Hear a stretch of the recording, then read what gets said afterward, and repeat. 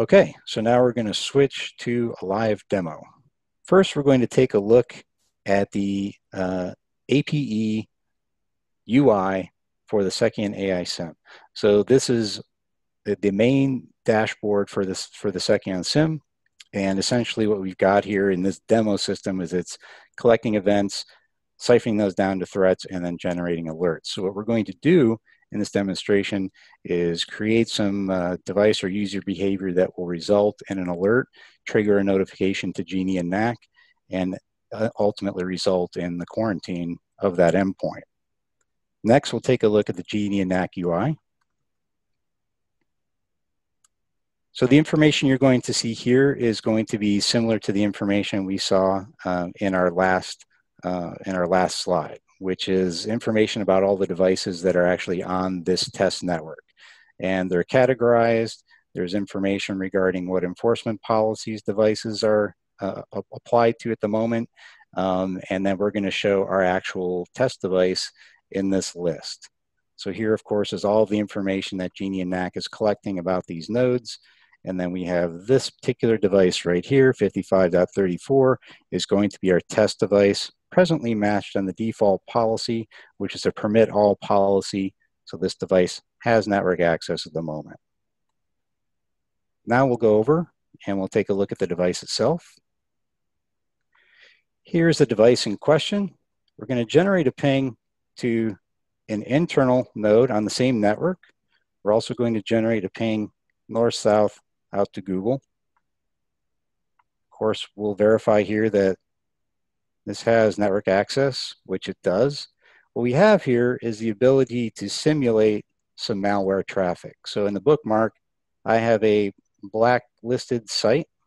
So this is a, a blacklisted site that is included in the Seceon database as an unauthorized site.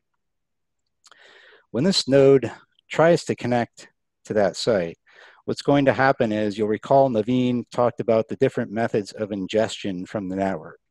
So you have the Seceon aiSIEM is taking flows and other information from the network into its correlation engine. And when it takes that information in, it's going to siphon it through all of its uh, uh, AI correlation methods, and it's going to determine if that's an alert. So it'll take roughly a minute or so for those flows to get exported from the network over to Seceon and then maybe another minute to two for Seceon to, to go through and make sure, right, that this is an alert worthy of um, applying a remediation to. When it gets done with that, it'll actually post an alert in Seceon SIEM, and it will then send the corresponding syslog event alert over to Genians. Genians will then perform a layer two quarantine of this device. The way that's happening behind the scenes is as this uh, device tries to access the network, Genians is going to actually respond to ARP requests and going to either redirect or block traffic, depending on the traffic, um, over to Genians.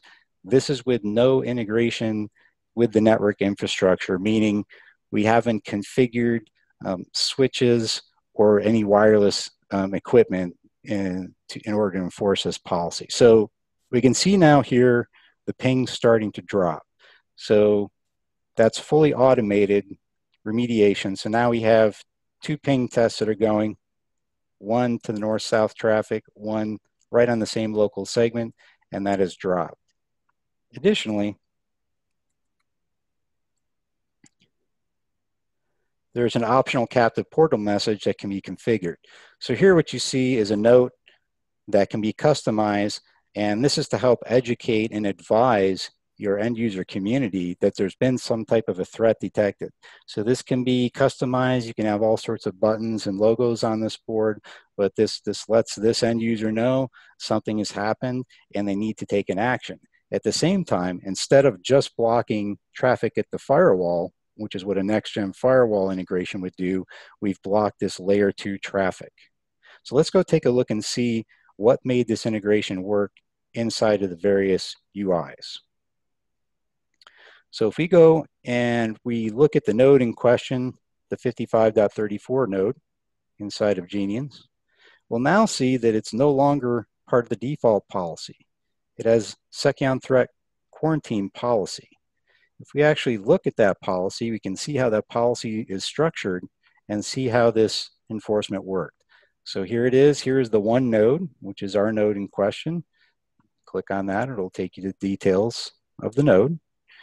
But if we look at that policy and we check the structure of that policy, we can see what options we've implemented with this policy.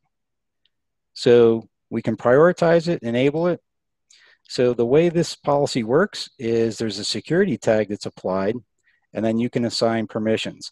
We've poked a couple of holes so we could do our demo, but aside from that, we're dropping all traffic. We've also enabled captive portal here.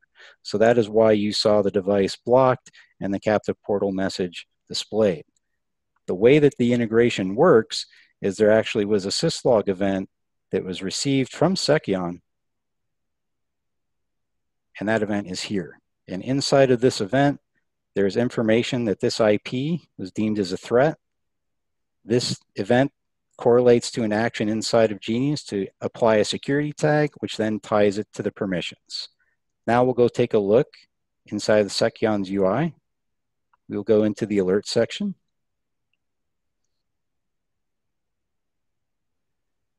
You'll notice here there's no open alerts. That's because auto remediation is enabled. If this were an open alert, then someone in the SOC would have had to have gone in and manually remediated it and have been a bottleneck and it would have taken longer and you have to staff up to be able to handle that kind of situation. So we're going to look at remediated alerts, remediated alerts instead.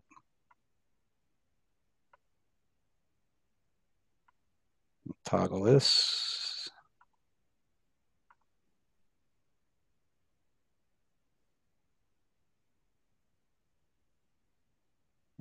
Get the last 15 minutes. There we go. So there's our alert, and this tells you that this device was suspected to be infected with malware. This because it visited the blacklisted th uh, site that we simulated uh, user traffic for a moment ago. So this was actually what generated the syslog alert to Genians, and that's what actually resulted in the layer two quarantine of the endpoint. All right, nice job. Thanks very much, Brett. Um, we've uh, we've got some questions, um, so let's uh, let's take a look at those and uh, and uh, and see if we can clear up any uh, any mysteries here. Um, the first one is uh, someone asking what other actions Genians can take if a device on the network is identified as a threat. Okay, uh, this is Brett. I'll take that question. So if we look inside the uh, in the Genians UI and we look in the enforcement policy itself,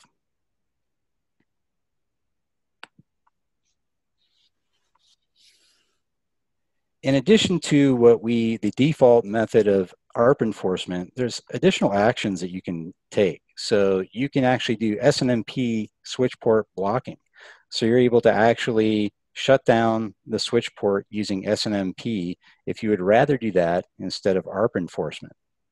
Um, on top of that, you can actually do radius COA. And when you actually do radius COA, you can assign um, different kinds of vendor specific attributes. So you could select the VSA and you could send something back here like a VLAN or a downloadable ACL or any kind of attribute that you would like to send. Additionally, you could do an agent action if in fact you had agents deployed and then you could configure whatever kind of agent action you want. In this case, we don't have one configured. So there are different things you can do uh, when it comes to how you can quarantine the device and what action you can take when that alert is received from Seceon. Right, so we see the integra integration there in, in real time. Um, Someone is uh, is wondering about Seceon being deployed in the cloud. Please confirm. Yeah, uh, this I will take this question. This is Naveen. So yeah, Seceon can be. Uh, this is a good question, and uh, let me just give a brief uh, uh, overview of our architecture. We have two components. One is called as CCE, and another called as APE. CCE is collection and control engine, and APE is analytics and policy engine. The job of the CC is to collect the logs and flows, and the AP is running all the other modules. Both CC and APE can be deployed in the cloud. Um, you can deploy it in both Azure as well as AWS clouds. Um, CCE can be in the cloud to collect the logs and flows from all other cloud devices that you may have in your network. Like you can have VPC logs collected from the AWS cloud, which is the communication or kind of a net flows between the various devices. So you can have a CC in the cloud and AP on premise, or you can have both CC and AP in the cloud, or you can have AP in the cloud and CC on premise. So all combinations are possible. Thanks. All right. Um, we've got uh, one more. Um, someone inquiring as to how difficult it is exactly to configure Genians uh, to process alerts from Seceon. Um, can we recap again the uh, the steps that are required there? This is Brett. I'll I'll take that question. So uh, one of the things we talked about was how easy it is to set this up. So you don't have to configure complex API queries or really uh, in-depth integrations to make this um, behavior work the way you saw today for this integration. So um, underneath the um, configuration here, there's actually a remediator option in the Seceon APE UI.